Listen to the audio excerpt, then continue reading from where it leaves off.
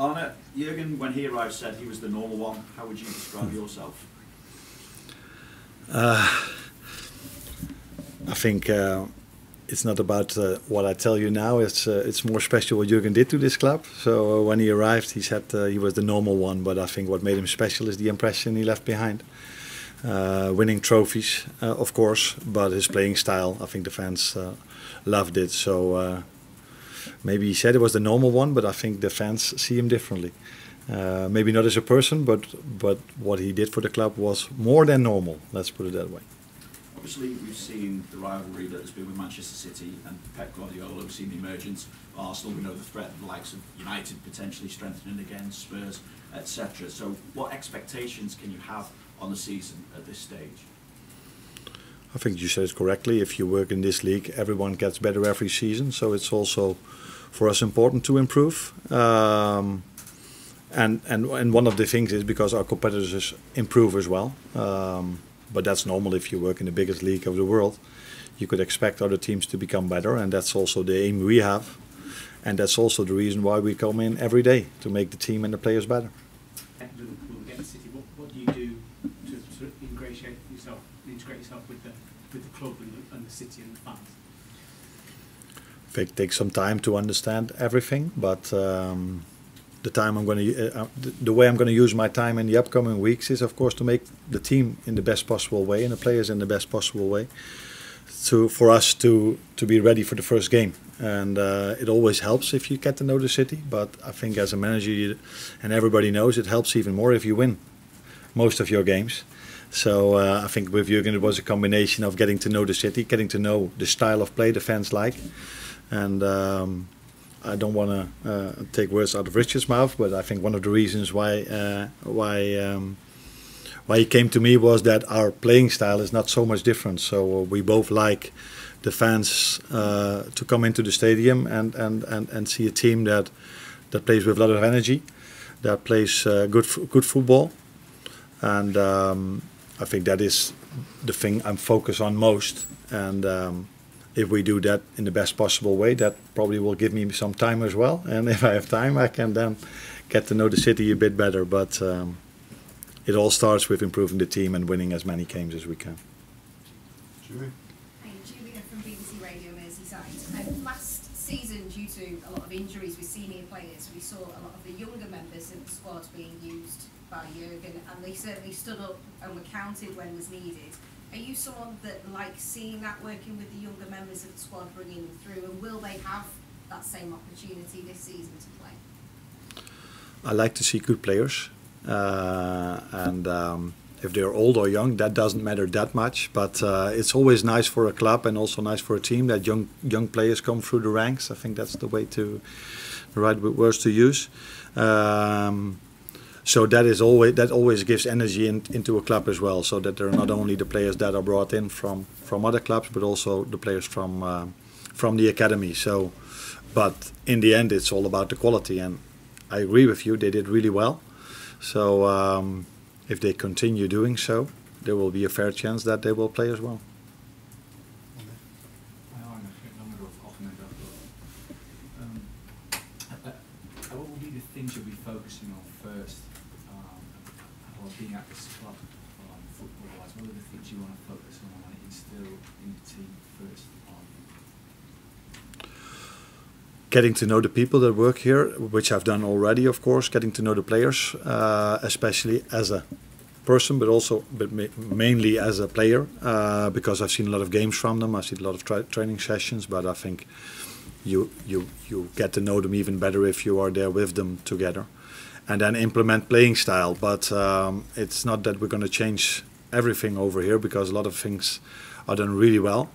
Uh, but we have to find ways to improve. And um, I took my time for that because I was off for a lot of weeks, so I had a lot of time to look where we can improve. Uh, but I think starting to work with them will um, will actually uh, get us a even better insight in um, in the improvements we have to make. Arne, uh, James Pearce from The Athletic, just as a head coach as opposed to manager, how, how do you understand the dynamic, how it's going to work with transfers in terms of your input and influence on that? For me, it's not a change, as you might know, because in, in Europe we work like this, um, and I've worked at Feyenoord and my former clubs like this always. I think there are not many clubs in the world. Maybe there are not even clubs in the world where there's one person that decides everything. Um, so it's a calibration. Is that the right word to use?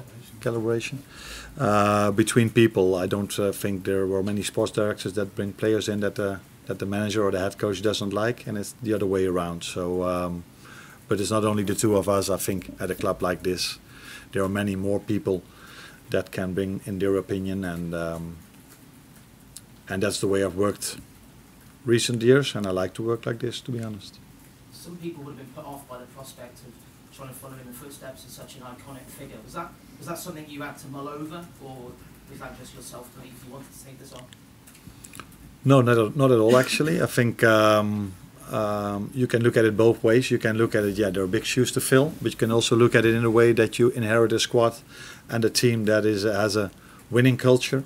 Um, and one of the reasons to come here, and there are always more reasons for this, but one of the reasons is that that I do feel we have a real good team, real good squad, and um, I think as a manager you want to work at a club where there are good players with the opportunity to win something, and uh, the past has shown that there is a possibility for Liverpool to win some trophies. So um, yeah, I think it's you can look at it a way to to be the successor of someone who's really successful, but um, that's maybe I look at it in a way that that is ideal because there is an opportunity to win something, and I like to work with players. I like to develop them, but uh, I like to win as well. And there's an opportunity at this club to win. So. Hi Arne, David from ITV. Um, I think Jurgen Klopp had the fans singing your name for the final game. You've also spoken with him. Was there one piece of advice or one thing that he said to you about the club about this role that was stood out to you? Oh, we've spoken about many things, but I think it's not more than normal that the things we've spoken about that stay between stays between us. So him singing a song for me was special because uh, I don't think many uh, there are not many managers where where the fans sing for. Is that maybe not the best English to use? But um, I was fortunate enough that after a few years at Feyenoord they start to sing for me. But now coming over here without even worked here yet, without winning a game, already fans singing for you. That's a good that's a good start. Obviously, Jurgen's rivalry with Pep Guardiola really captivated, really kind of engrossed the, the, the Premier League. How much are you looking forward to that challenge as well, taking on the likes of that? um, something to look forward to. But I think there are many more good managers in this league, which is normal because um, English people like to believe that's the best league in the world, and I I believe this as well. so uh, it's normal that if you work at the, at the, at the it's such a league there are many good managers where you have to uh, which you're going to face, and Pep is one of them. That's for sure. And I've. Uh, I think it was last time when I had the interviews with Liverpool. I, am lucky enough that I, I've, I lived in an era where I could see the Barcelona team. It's one thing we have in common. Uh, but when he left, uh, when Pep left over there, there came a new era, and that was the rivalry between Liverpool and um, and City. So I've seen a lot of that rivalry and a lot of games um, of both teams. I'm looking forward to work here, but not specifically take playing against Man, Man City because there are many nice uh, teams we're going to face, starting with Ipswich, of course, which is at this moment the most important one. Can you tell us anything about the desire and hunger uh, you felt in these conversations for them to keep performing in Liverpool and, and keep winning trophies here? I think in general, every top player wants to win, and um, I assume, and I'm hoping Virgil first wants to win the Euros. Uh, maybe not everything is in one line uh, in their area and then when he comes back after he enjoyed a, a few days of his holidays, uh, he will come back, and all these players want to win, and um, they have the hunger to win. If you don't have that, you're not playing for a club like Liverpool. So. Um, the hunger to stay at Liverpool as well. I did, yeah, did. yeah. Did you tell uh, Cody to slow down at the Euros? No, I'm hoping he will step up a bit even more, especially in the quarterfinal, in the semi-final. Um, first quarterfinals. Yeah, first quarterfinals. Yeah, hoping to see them playing the England England national team in the semi-finals. Yeah. So we are hoping and expecting him to do even better. No, uh, Cody has a very good tournament, like his last one. World Cup was really good for him as well. Uh, he's been impressive till now, and I, I, can only hope for him that he can can continue doing so in the upcoming games. Um, I'm a Simon, Simon Stone, BBC. Um, just going back to James's point on following someone like Jurgen Klopp, do you have to think about what you're going to say to the players? Because there's something un- unquantifiable about a manager who's been in charge for so long that the voice and the messaging is consistent and the demands are the same. You've got to go in and impress those players as well. Yeah, but that's a general feeling. That has nothing to do with with, with who've worked here before. I think uh, as a manager, you go to bed at night and you think you think about what you what you're going to do and what you're going to tell the players uh, every day. That's not only uh, before your first day. That's that's during your whole period where you work. So it's people tend to see look at us and, and think we're only thinking about the tactic board, uh, which we do a lot as well. But it's also about convincing players and the way to talk to them. So for me, that has nothing to do with being the successor of Jurgen. That is something that's part of the job. That you think about, okay, how can I get the best out of the players? What way do I have to approach them as an individual or as a team?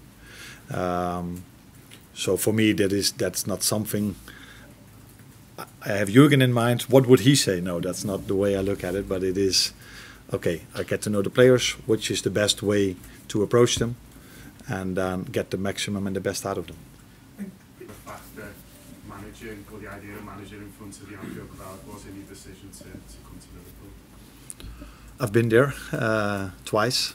Once as a, as a, as a fan, uh, uh, and once uh, when they showed me not only this training facility but also the stadium.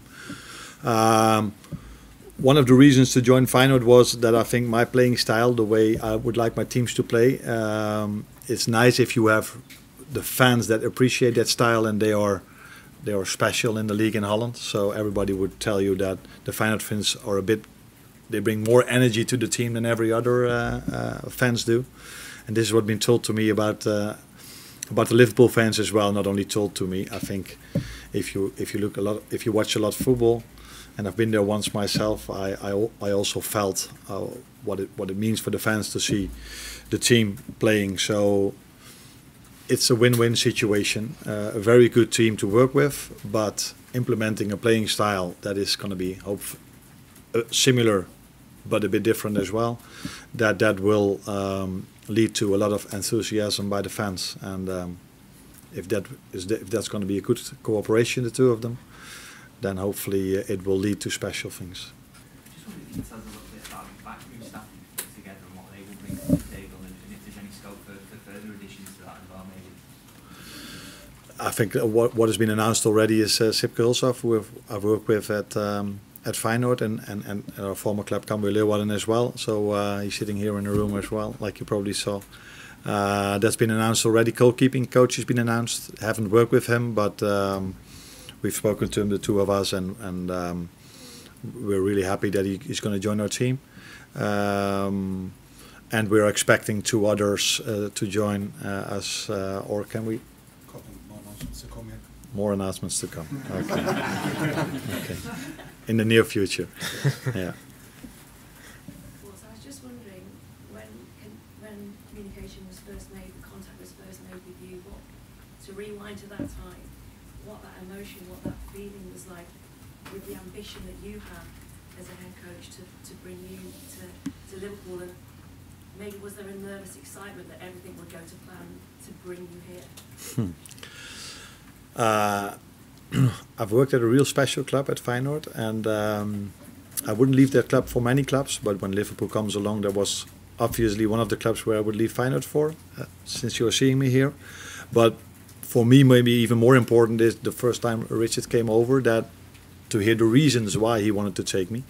Uh, wanted to wanted he wanted Liverpool to um, to bring me in, and. Um, and, and, and, and since then I've noticed how professional this club is. So uh, it went quite fast afterwards. Um, but most important, I think, especially for me at least, is that to get to know the reasons why they want you. Because, um, of course, uh, we, because Sipke was involved in that as well, we were lucky enough to win a few things.